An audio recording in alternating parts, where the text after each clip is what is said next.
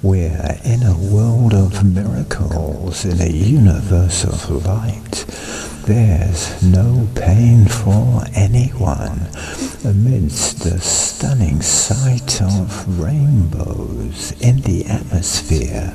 as spectral beings play far away and very near, it seems, every day. Evaporations purified,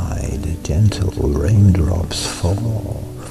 everywhere, both far and wide, three suns lighting all, prismatically sensational, visions so serene, along with the occasional penetrating beam coming from beyond the sky through the depths of space,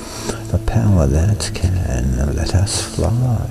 allowing us to face all the beings in the stars and those who are unseen on the planets like red Mars. In this dream we dream